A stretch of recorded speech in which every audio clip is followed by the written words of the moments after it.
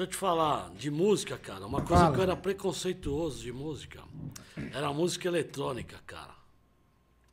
É música, mesmo? Era preconceito, eu tinha preconceito, cara. Uma coisa errada da minha parte, mas por não gostar. Até conhecer, meu amigo. Por isso que ele fala, a gente tem que conhecer. Eu caí no, de paraquedas no movimento de música eletrônica, cara. Do nada eu caí e fiquei mais de 10 anos trabalhando com música eletrônica. Todas as casas de São Paulo de música eletrônica que eu ia, trabalhei com isso. Várias raves, cara. Você não tem noção. Pessoal da Tribe, meu. Puta, não tem só agradecer. Monte, Rafael, Ariel, porra, pessoal. Meu, só tenho a agradecer vocês. Vocês me mostraram um universo que eu não conhecia, cara. E eu trabalhei e foram. Se eu te falar, meu amigo, foram Olha o que o Edson escreveu. No final do podcast, tem, tem que rolar o engolfe. já tomei antes, velho. Já tomei antes. Mas e aí, Rô? Oh, oh, deixa eu te falar. Cara, a família da Ram, cara. O Monte da Ram, o Ariel da Ram. Meu. E o Rafael da Ram. Eles me mostraram um universo que eu não conhecia, cara de música eletrônica. E aí eu te falo, cara, o que, que, tem a ver isso com punk, cara? Eu nem sabia. Tinha uma banda. Não? Tinha uma banda inglesa de música eletrônica. Inglesa? Inglesa, cara. Que na minha época eu não gostava muito. Hoje eu gosto pra caramba, que é o Joy Division. Que era pós-punk na época. Mas depois o Ian Curtis, que era o vocalista da banda, ele se suicidou. E aí eles montaram o New Order, cara. Caralho, velho. O New Order veio do Cê é punk, é louco, cara. Mano. O New Order Não sabia do... disso. É, então, o New Order veio do punk. Cara, o Joy Division foi montado porque eles foram ver um show do Sex Pistols e do Buzzcocks em Manchester. Eles piraram e falaram, vou fazer a banda, cara.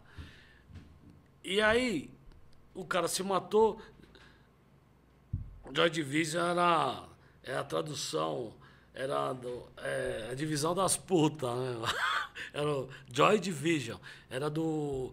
Na época do, da Segunda Guerra, a divisão das putas. E para quem frequenta esses lugares de entretenimento noturno, ontem foi fechado o 69 aqui em São Paulo. Pô, sacanagem. Foi emparedado. Pô, saúde. Saúde. E o que você acha para continuar a ideia? Aí.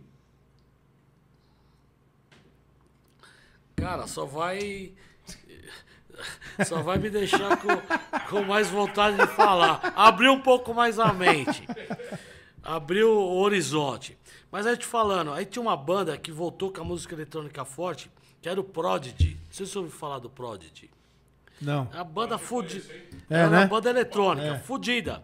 E os caras eram punk, cara. Isso. O guitarrista do Prodigy era do English Dogs, banda de hardcore. Aí depois você pega o movimento de torcida organizada aqui lá na, na, na, na, na Europa, que é os hooligans. Na Inglaterra, tem um filme, Football Factory, que é de, de rixa de torcidas, de, de times. E o filme inteiro, os hooligans, hoje, curte música eletrônica, cara. Meu, é uma coisa louca. E no filme o cara tá na torcida do Chelsea com a torcida do Millwall o cara pega e fala: não, o pai do cara era skinhead, hooligan skinhead, e o filho era hooligan novo que tinha música eletrônica, mas hooligan. E a música eletrônica, que na época, a gente nem falava música eletrônica, era música industrial, cara, chamava de industrial, técnico industrial, que era derivado do punk, cara. Você pega as bandas, meu, por isso que eu falo, tudo tem uma origem, tudo tem uma cultura, tudo tem uma raiz, cara. E eu vou te falar mais, cara. O hip hop, quando começou, cara, começou com o Malcolm McLaren, cara. África Bambata. Malcolm, África Bambata, O Malcolm McLaren era. O Malcolm McLaren era empresário do Sex Pistols, cara. E a banda The Clash, quando vai para os Estados Unidos, ela vê aquele movimento de hip hop, cara. O Clash se impressiona e faz umas músicas funk e faz show com o Curtis Blau, cara. Aí depois vem uma banda que eu tô usando aqui, o Motorhead, cara, que junta com metal, com punk. Aí você fala, pô, tudo é universal, tudo se junta, tudo uma cultura tão linda. E eu falo, e hoje, Não que eu vou falar que é mal, mas o, o funk hoje tá nas torcidas organizadas. O funk tá, cara. Todas as torcidas organizadas, cara. Aí eu falo, o Rio de Janeiro teve um papel fundamental nisso aí, cara. Que lá, esse movimento funk se alastrou. Chegou em São Paulo, mudou completamente. Mas era